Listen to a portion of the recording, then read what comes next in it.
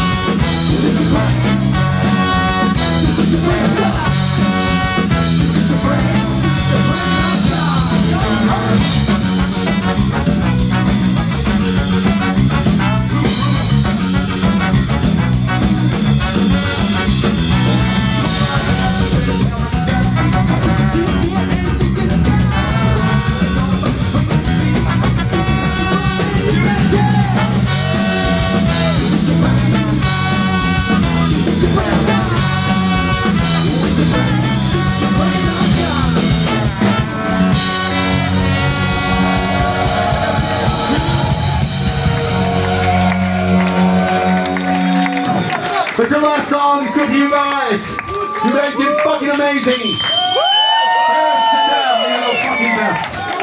Anyways, that's what. Good times also called the beer